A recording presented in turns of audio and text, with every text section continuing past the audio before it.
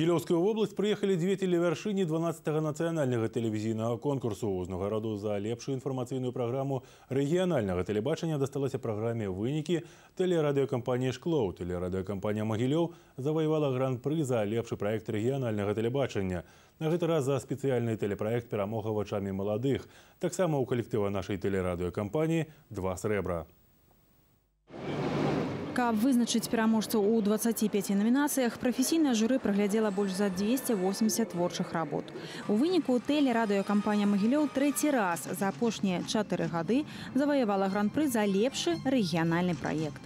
Такім журы прызнала спецыяльны тэлевізійны праект перамога вачамі маладых, які быў прысвечаны 70годдзю вялікай перамогі і падтрыманы каналам Беларусь 2.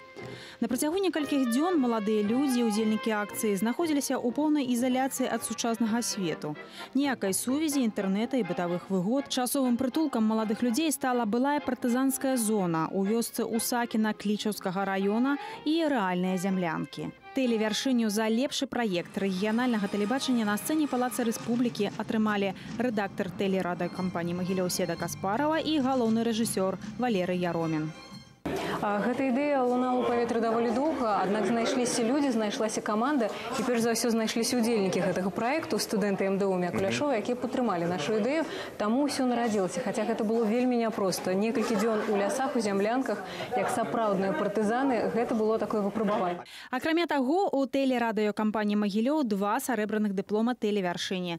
Другое месца занялі праграма навіны рэгіён у намінацыі лепшая інфармацыйная праграма рэгіянальнага тэлебачання, а таксама аўтар праграмы дача Тацяна Ларына у намінацыі лепшы вядучы рэгіянальнага тэлебачання.